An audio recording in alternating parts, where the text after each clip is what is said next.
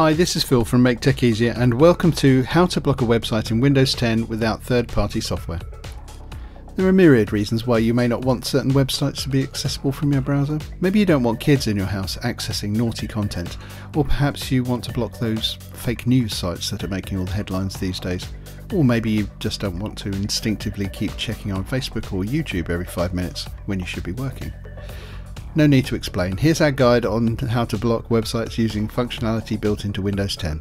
No need for third party extensions or anything like that, just good old fashioned host file tweaking.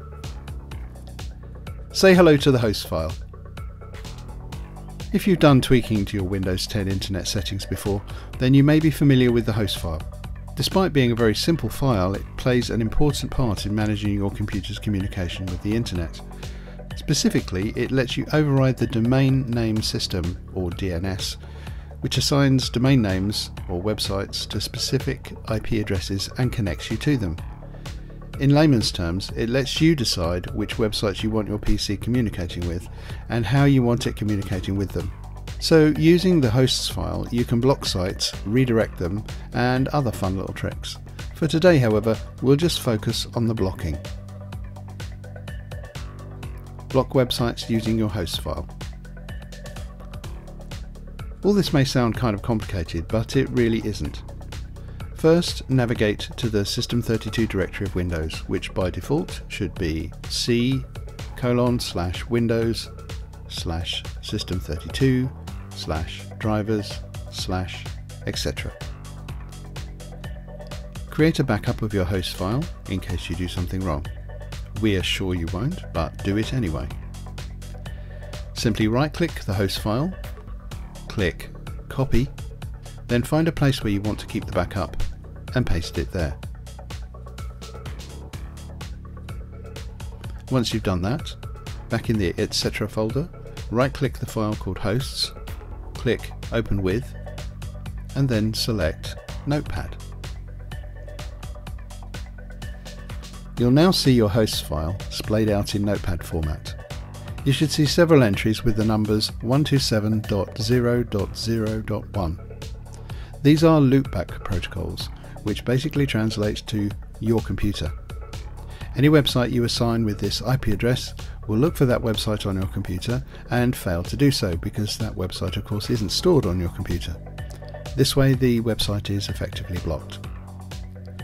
So to block a website or many websites, all you need to do is start a new line at the bottom of the notepad document and type 127.0.0.1 then a space, and then www.facebook.com or whatever the name of the site you want to block is.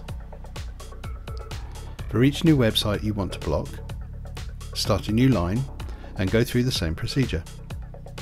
When you're done, just click File, then Save. And OK, you may get this message. It says that you don't have permission to save in this location contact the administrator to, to obtain permission. Would you like to save in the documents folder instead? If this happens, then obviously your permissions are not quite set up right for you to be the administrator and you need to run Notepad as administrator. To do this, you just right click on the icon for Notepad and select Run as Administrator. And then you will have full administrative privileges to save the host file. This is obviously a security precaution because you shouldn't really mess around with the host file unless you know what you're doing. So please bear this in mind. Okay, once you've saved the file, those pesky websites you don't want in your life will no longer be accessible from any of your browsers. If you decide you miss those sites and want them back, just open the host file in Notepad again and delete the specific entries for the sites you want back as stated before. Be careful about what you delete, and whatever you do, don't delete the host file itself. Very important.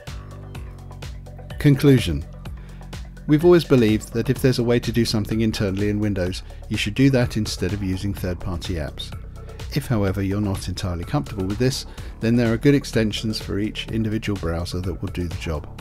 Check out our list of extensions in the description for blocking websites in Chrome, and that will give you the idea. Firefox has a good one too called LeechBlock, and there are plenty of others out there. With that said, we don't feel the need to use those when we have our humble host file right here.